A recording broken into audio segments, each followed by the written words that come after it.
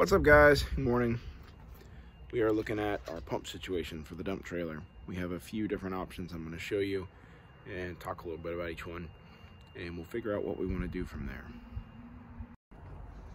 These are the three electric over hydraulic pumps that I have. Um, this first one I actually got off the guy that sold me the dump bed. He said it was off of a uh, pop-up camper but it looks uh, looks pretty heavy duty and it actually looks like it's in decent shape. I haven't hooked power to it. Um, but it's a Stay Right Industry Webster Electric Company. That's what it says. Um, this is the one that he said he used on this particular dump bed.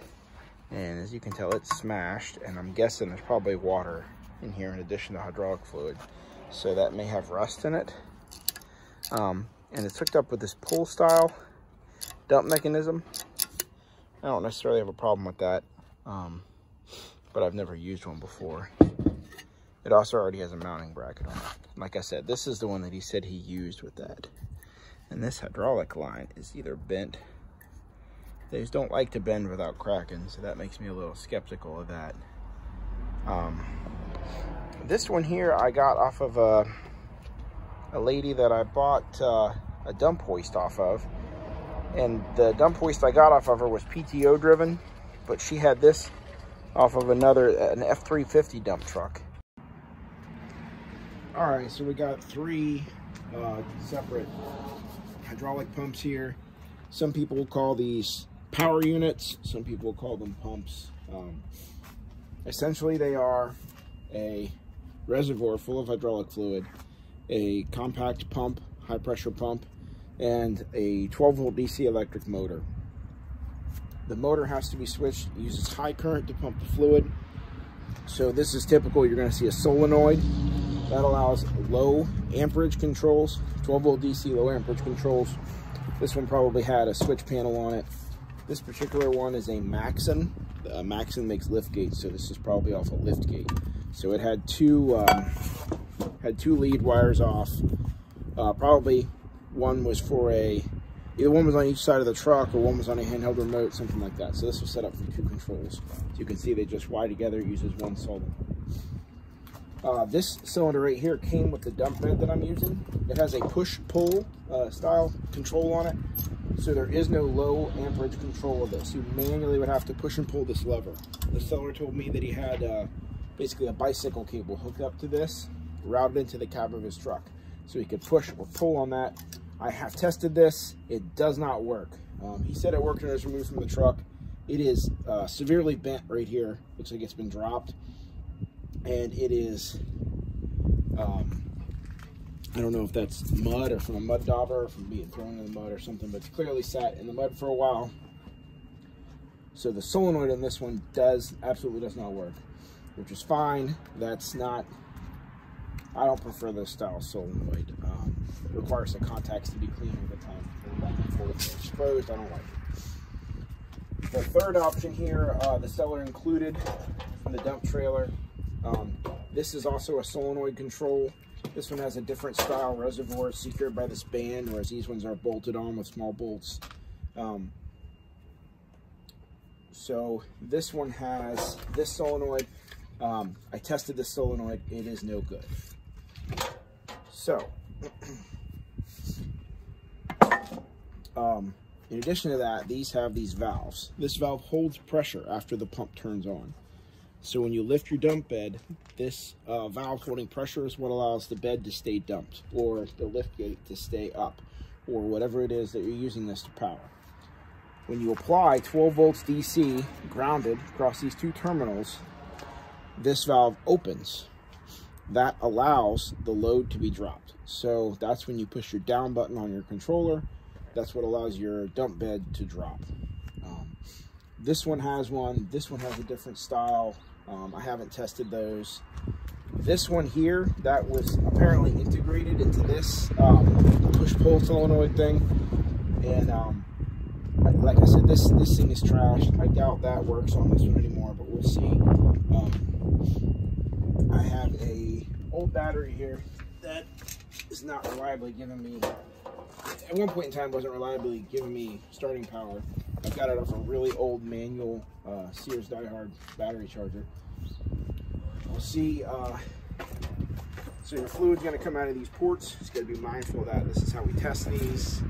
Um, so that one turns on and pumps. I actually tested this one the other day. It pumped all the fluid out. It had some yucky looking hydraulic fluid in it. There's no reason to leave it in there. You can see that one starts right up. Um, if we go to the solenoid on this, which is not grounded, try and ground that to the pump. All right. So we are grounded now. We're on our 12 volt wire and we are clipping our control wire. Nothing, we don't even get to click solenoid's bad. Um, that's good. And we can hear that clicking, so that um, that lowering valve is probably still good. It's hard to say without putting pressure. This one here, we're gonna ground our motor. Ground our motor. So that one comes on, comes on, it's still spurting a little. This one had water in it. If you look down inside, you can see these components have some surface rust. However, this also had hydraulic fluid in it. So wherever the water and hydraulic fluid level was, which probably changed since it was sitting outside, uh, we may find some rust once we take this apart. Um, this, if this was protected from the weather, this is usable as is, um, because this is just your fill port. That's not gonna have any pressure on it. However, it's less than ideal. It'll allow any contaminants to get down in here. So at the very least, you want to put some steel wool or something over that. It should have a nice lid on it like these ones do. Now this one, which is, from appearances, the newest of the three, um, looks like it's in decent shape, but it does absolutely nothing. Got lots of power, just have nothing on the solenoid. So now if we ground our solenoid, hear our solenoid click. So the solenoid's good on that one, which is nice. We have one good solenoid, one bad solenoid, one destroyed control unit. We can try that control unit one more time. I'll show you how I tested it. Um, you want to ground this. This entire assembly is bolted together, so it's grounded to itself. Um, this is where your this is where your input current goes, is on this stud here. Oops. So flipping this back and forth would we can make those contacts and I can see that everything in there is corroded. So that's no good. Um, so from there, what we're going to do is uh, we're going to take apart this pump. Um, like I said, this thing actually, it looks like it's in good shape on the outside but you never know. I bought this used. So this is a bad sign when your bolts are that corroded.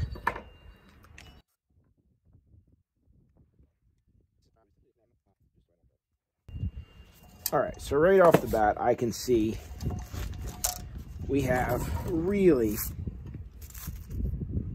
well, not really, but pretty heavy pitting on this. Um, this is the coupler that spins the shaft, and this is the seal. You can see there's a bearing in there. So the fact that this rusted isn't important, but it does show that it's likely been in a moist environment. Okay, so this is our electric motor, and this has this has really, really heavy corrosion in here, as you can see. Um,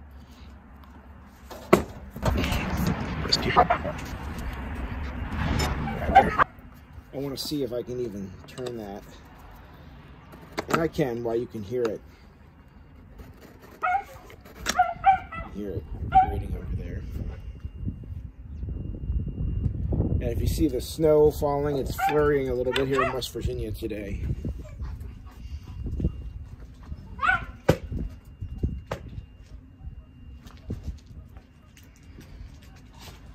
Dogs are fighting.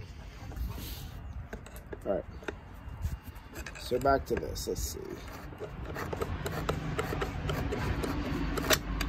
So at least it's, it's not seized. Um, not seized and it could be cleaned up. Go wire brush some of this. We'll see if that makes a difference. All right, let's go find our our brushes. This is what the the inside isn't isn't awful. I've seen worse um, and saved saved worse. It, it clearly had. You can see where the um, it looks like it must have been in, in if it was in a flood, but the um, the dust and debris that were inside the pump have all settled down. So we will go get some tools and clean that up and see what happens. All right, we got brake cleaner, we got some wire brushes here. We'll see what happens.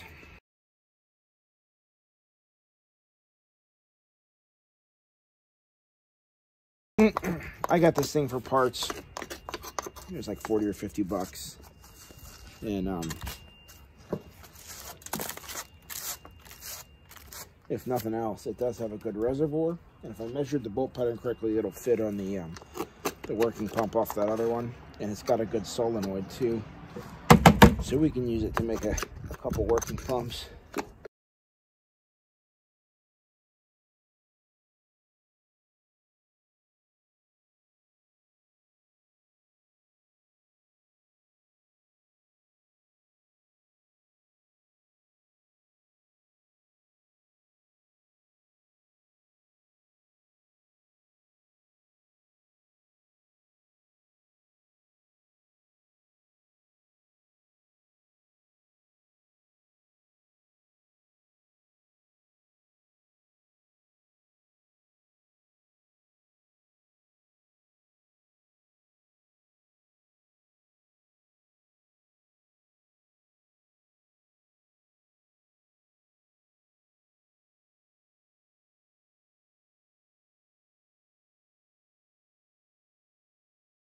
So this may be part of the problem here. These are supposed to be sprung. Um, like this, so they can ride. And these ones here, the springs are gone on three out of the four. So that is not going to allow that motor to operate correctly. Now, can I test it that way? Maybe. I may be able to wrap a, something around there temporarily and, and make that work good enough to test it. We'll see.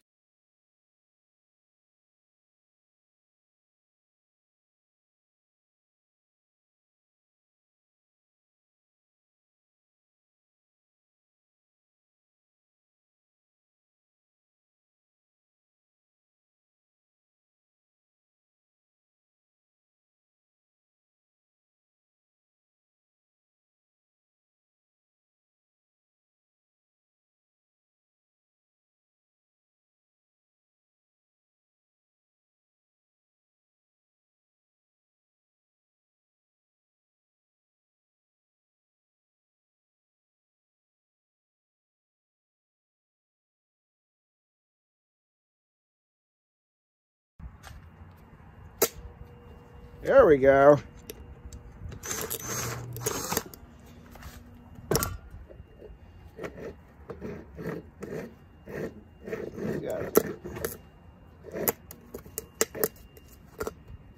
Sound the life out of it at least.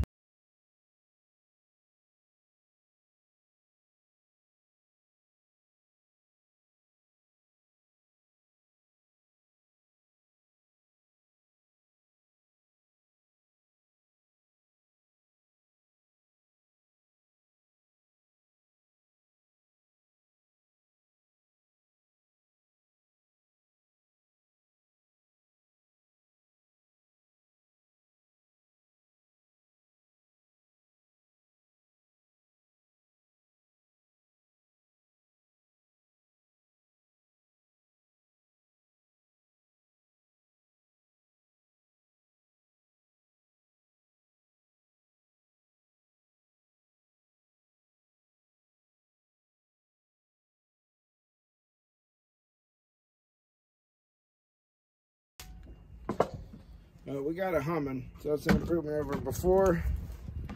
But I would say